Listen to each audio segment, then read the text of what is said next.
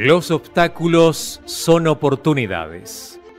Frecuentemente sucede que las oportunidades se disfrazan astutamente y aparecen como problemas insuperables.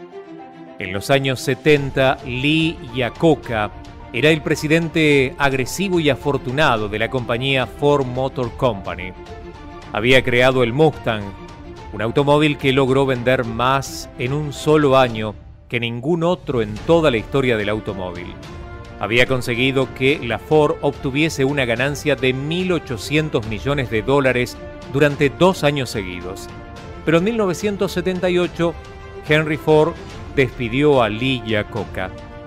Poco menos de cuatro meses después, Iacocca se convirtió en el presidente de la Chrysler, una compañía automovilística que acababa de anunciar una pérdida en el tercer trimestre por un total de 160 millones de dólares, la peor pérdida que había tenido jamás. Yacoca se encontró con que la Chrysler no había sido bien dirigida y que cada uno de los 31 vicepresidentes trabajaba por su cuenta en lugar de trabajar juntos. La escasez del petróleo en 1979 complicó las cosas y los problemas de la Chrysler debido a que el precio de la gasolina era casi el doble y descendió considerablemente la venta de coches grandes. En 1980 Chrysler perdió 1.700 millones de dólares, la más grande pérdida en operaciones de la historia en corporaciones estadounidenses. Pero Iacocca estaba convencido de que podía convertir sus obstáculos en oportunidades. Lo habían despedido y lo habían nombrado presidente de una compañía que la mayoría de las personas consideraban que acabaría en la bancarrota. Pero sin estos obstáculos, Lee Iacocca no hubiera tenido nunca la oportunidad de demostrar de lo que era capaz. Se propuso no darse por vencido y las concesiones de la Unión, el perfeccionar de las operaciones en la Chrysler y el desarrollo de los nuevos productos fueron todos factores que ayudaron a que Chrysler pudiera recuperarse. En 1982, Chrysler logró obtener una modesta ganancia. En 1983, obtuvo la más grande ganancia de toda su historia.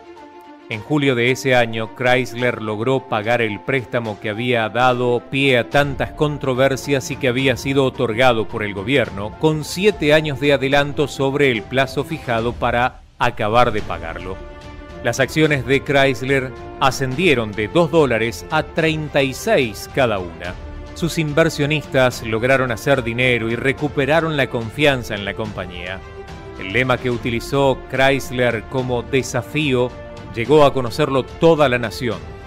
Si puede usted encontrar un automóvil mejor construido, cómprelo.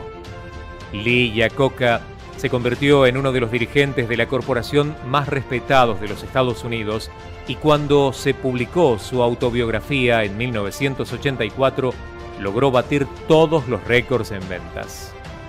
Estas oportunidades no se le habrían presentado a Lee y a Coca si no le hubieran despedido y si no se hubiese tenido que enfrentar con una serie de obstáculos en la Ford y al encontrarse con una situación próxima a la bancarrota en la empresa Chrysler. Él encontró en estos obstáculos precisamente sus más grandes oportunidades. ¿Y usted? ¿Cómo está lidiando con los obstáculos que la vida le pone?